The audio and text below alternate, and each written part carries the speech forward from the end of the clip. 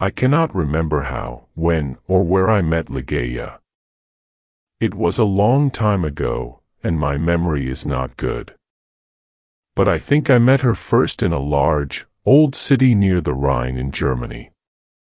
She told me that she came from an ancient family, but I never knew the family name of the woman who was my friend, my partner in my studies, and finally my wife.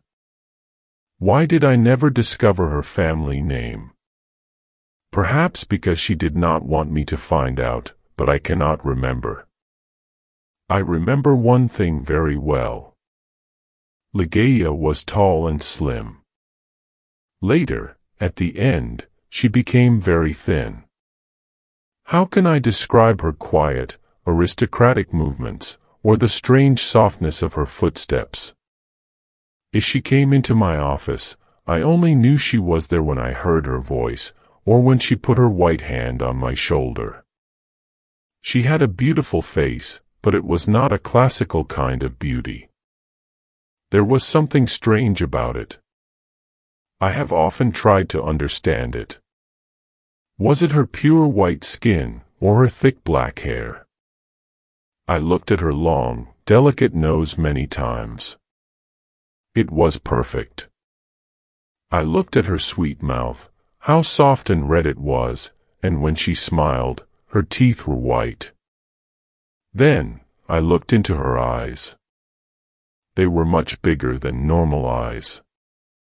Sometimes, when she was excited, they looked like a deer's eyes. They were black, with long black eyelashes and black eyebrows, but as I looked into them, I realized that they had a strange expression.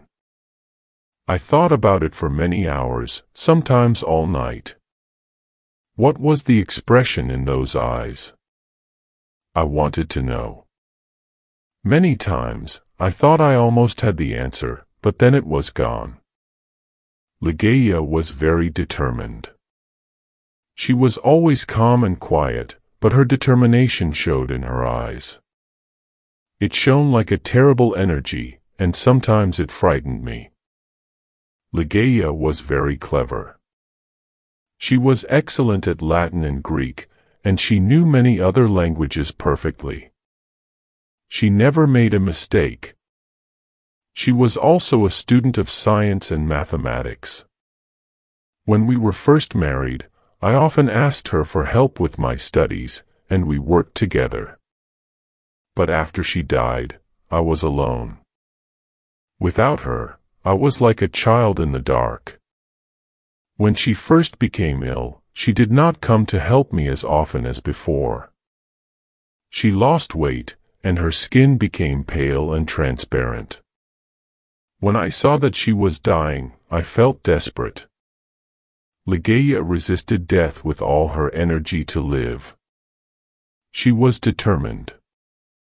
I watched in agony as she fought for life. I knew she loved me, but I only understood how much she loved me now that she was dying. She held my hands and said that she was devoted to me. I cannot talk about it now, but let me say that her love for me was part of her determination to live. On the night she died, she suddenly got out of bed and cried, Oh God, must I die? Must I lose my fight with death? No, I can't die like this. But my dear Ligeia died. I was so sad I could not stay in the old city by the Rhine. For a few months I traveled around. Then I bought an old abbey in an isolated part of England. This dark, sad place expressed my feelings of loneliness, but I decorated it with beautifully colored curtains, carpets, and ornaments. I said to myself, Perhaps the bright colors will make me feel happier. Unfortunately, they did not. I began to drink too much, but I do not want to speak about that time of my life. I will only say that one day I married Lady Rowena Trevanion of Tremaine. My new wife had blonde hair and blue eyes. She was very different from my first wife. But how could I ever forget Ligeia? I took Lady Rowena back to a room high up in the tower of the abbey, where we lived for the first month of our marriage. The room was very large, with an enormous window made of glass from Venice. The ceiling was high, like a church. And in the center, there was a big gold chandelier. There were sofas from the east, and an Indian bed. On the walls were long tapestries, like carpets, with designs made of gold. The tapestries moved every time the wind blew. My wife was afraid of me, because I was often sad and depressed. She did not love me much, and stayed away from me. But I preferred this. I always thought about Ligeia. My beautiful Ligeia, dead in the tomb. Sometimes in my dreams, I called to her in the night. I imagined that perhaps my love for her could bring her back to me. At the beginning of the second month, Lady Rowena became ill.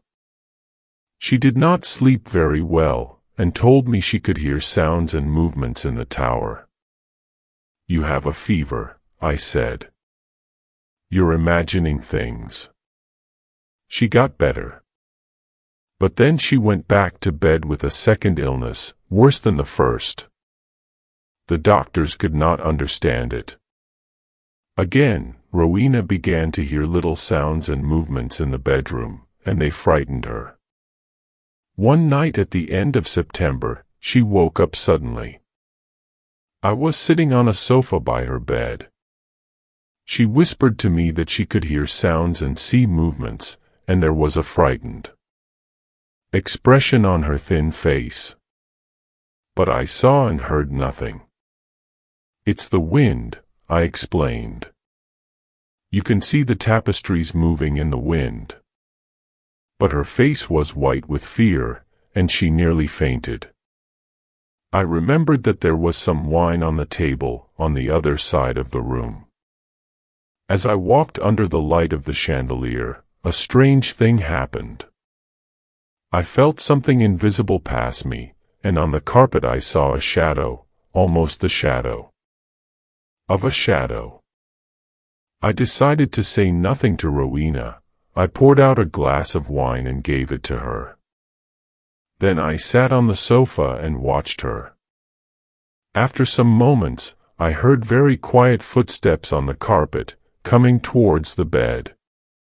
A second later, as Rowena was about to drink the wine, I saw, or perhaps I dreamed, that I saw, three or four large drops of a bright red liquid fall into the glass. Rowena did not see it. She drank the wine, and I said nothing because I thought it was only my imagination. After this, Rowena's health got much worse, and on the third night, she died. Her servants prepared her for the tomb, then covered her with a sheet. The next night, I sat alone with her body in the bedroom.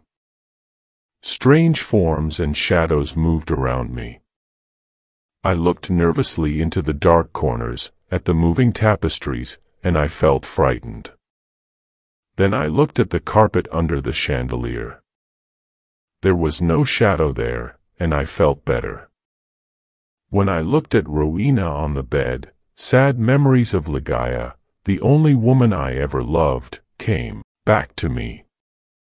It was perhaps around midnight when I heard a sound.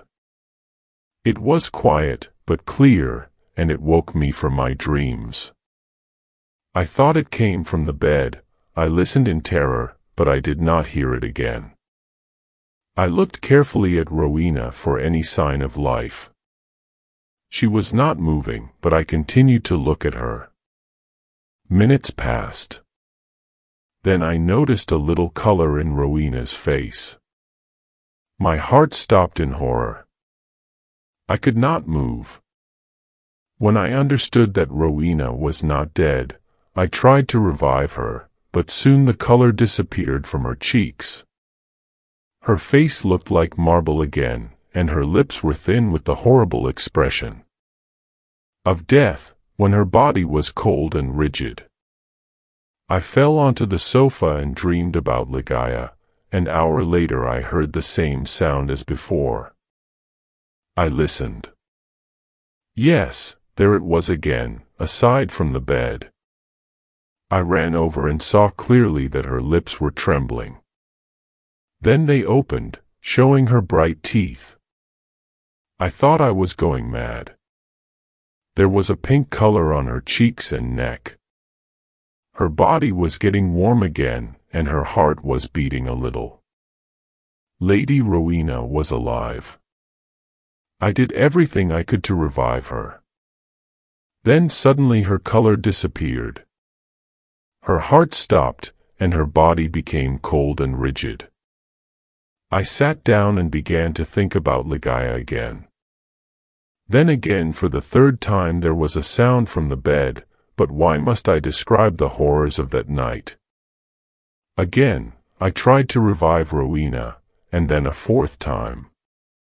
Each time she seemed to fight with an invisible force, and each time her body changed. I cannot say how, but she looked different.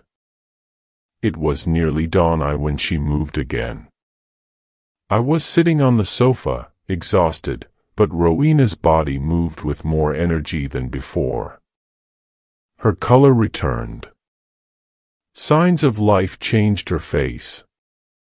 Her eyes were closed, but she looked alive. Then she suddenly got out of bed and walked slowly to the center of the room. Like she was walking in her sleep. I did not tremble. I did not move. I was as cold and still as stone, paralyzed by what I saw. As I looked at her, my head filled with wild thoughts. Was Rowena really alive? Could I really see her blonde hair and blue eyes? Why wasn't I certain? I could not see her mouth very well. But her cheeks were like pink roses. Weren't they Rowena's cheeks? But wasn't she taller than before?